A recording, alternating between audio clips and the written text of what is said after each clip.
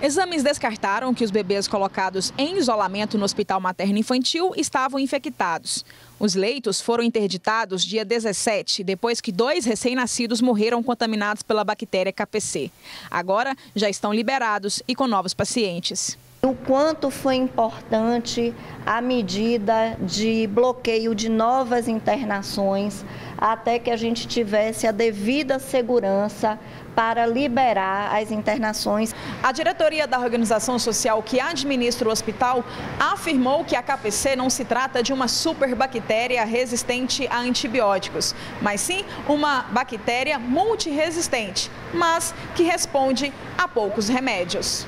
A terminologia de bactéria super resistente ela não deve ser o superbactéria, ela, deve, ela não deve ser usada porque dá a impressão que aqueles pacientes que estão infectados, eles estão é, submetidos é, a morte, que não tem tratamento, e isso não é verdade. Para a direção do hospital, a superlotação teve relação direta com a morte dos bebês.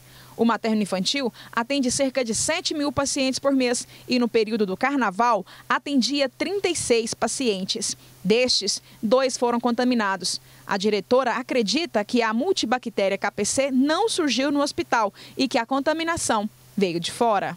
O Hospital Materno Infantil é um hospital destinado a pacientes graves e que a superlotação com pacientes é, de, de, baixo risco faz com que a gente é, traga riscos aos pacientes que realmente precisam do Hospital Materno Infantil.